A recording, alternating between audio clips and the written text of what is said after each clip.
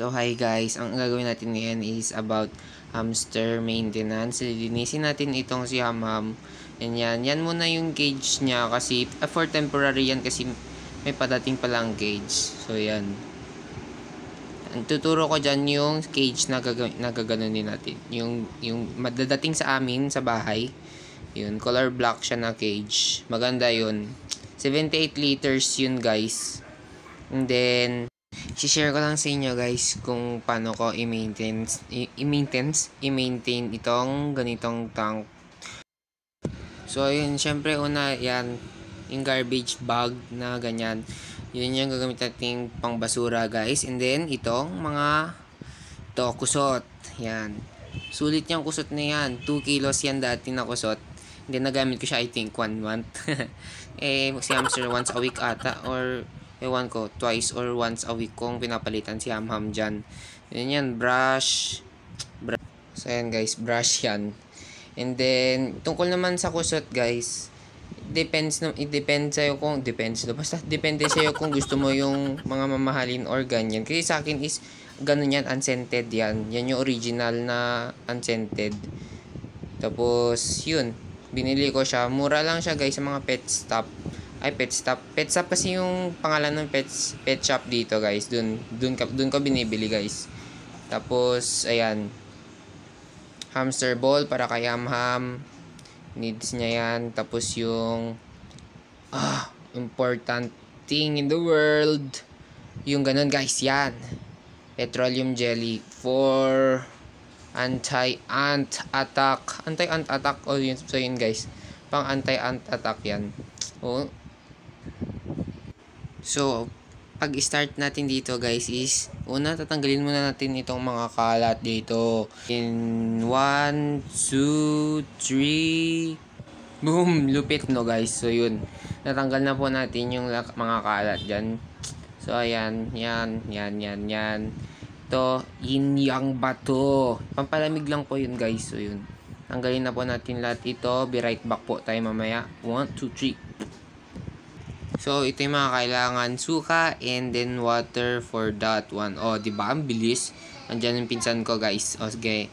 So, dito naman, guys, mixture lang siya ng water at saka suka. So, sobrang effective. Sobrang, dahil sobrang effective nito, dahil. Yan. Mimix lang yan, guys. And then, i-spray. Ayan na nga, guys. I-spray nga doon. Okay. Imimix na po natin ito dyan So, water, tsaka, yung water and suka, imimix. After mixing, pwede na natin itong i-spray doon. Oh, di ba? Okay. So, ayun nga guys, i-spray natin dito guys.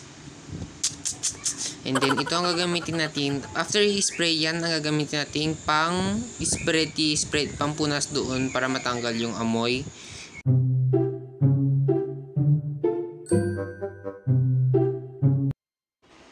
So guys, so ang next natin na gagawin is after na sprayan natin ito, syempre yung mga bagay na ilalagay dyan dapat ay malinis. So ayun. Dito, oh, nakikita nyo naman yung aquarium na yun. I-feature natin yan sa next video kaya stay So stay tuned po and subscribe para ma-update po kayo dyan sa mga next video na i-upload natin guys. And then ito yung mga dapat linisin is ito, andyan yung pinsan ko. So, yung water bottle, yung hamster wheel, hamster ball, yung yin yang dyan guys is para malamigan siya. So, yan, itong hamster wheel na ito, ganun, dapat malinisan yan, ta, maamoy talaga dyan. Palagi siyang nakahiga. So, ayun guys, ito, next update na po, next video na po ito.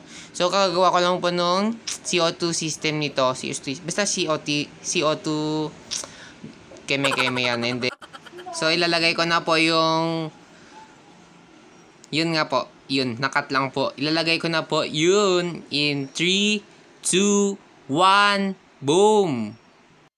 So, yun nga guys, late yung pagka-boom. Pero, yun, okay lang yan guys. Madami pang... So, yun nga guys, tamang walis na naman. Tamang galit na naman naman si Mama Sogin. And yun na. Natapos na, nalagay na po natin ito. Natapos natin natin sa wakas, dahil. And then, lalagay na po natin ito. Nalinis ko na po yung bato dyan, dahil yung bato ni... Yan, basta yung bato dyan. And then yan, may tayo-tayo pa yan. Palitan ko na din yan mamaya. Ewan ko kung ganun. Kasi, hindi ko na voice, nawala yung... Yung ganun. Basta nawala yung... Yung boses ko dito, guys. Kaya voice over na lang ito. So, yun. YouTube, YouTuber feel, YouTuber daw, YouTuber, ah, YouTuber daw, YouTubers feels,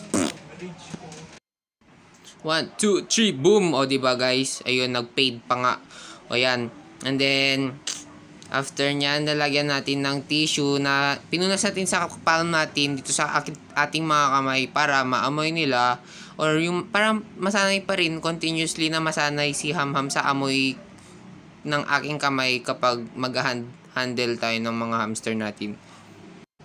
So, yan. Tamang lagay lang po tayo dyan. Yun, guys. Mm, gusto ko ng... Yun, basta. Bagong video ulit. Ganito. Abang-abang lang, guys. May hamster. May season-season sa to. Char. Ayan. So, ayan si hamster. So, FYI po guys, yung about dito sa hamster ball, kailangan po natin ng yung pang secure niya po kahit scotch tape or any kind of tape para po hindi makatakas kasi magaling opportunistic basta yung opportunistic na na ang tawag doon yung parang gusto niyang tumakas yan guys. Kaya dapat may pang secure lang tayo. So ayun nga guys natapos din sa wakas. Ganyan lang pong setup for this day kasi inaantay pa po natin inaantay ko pa po natin daw yung ganun bean cage na 78 liters. So, yun. And then, dito naman guys, yes, next video na po ito. And baka water change po, ewan ko. And then, yan, mga tarantula po. May mga sling po ako dyan ng tarantula. And then, ayun. Ah, excited na po ko dito. Kaya, stay tuned po. Subscribe po kung gusto nyo pang mapanood lahat ng mga gusto kong ipalabas. Yun.